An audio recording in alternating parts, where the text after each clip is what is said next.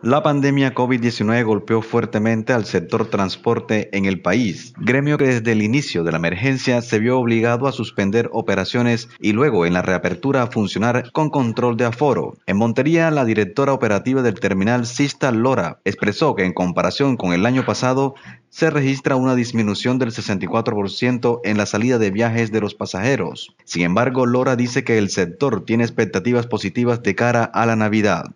Noviembre ha sido un mes muy bueno en materia de movilidad, eh, no solamente para el terminal, sino también para las empresas transportadoras.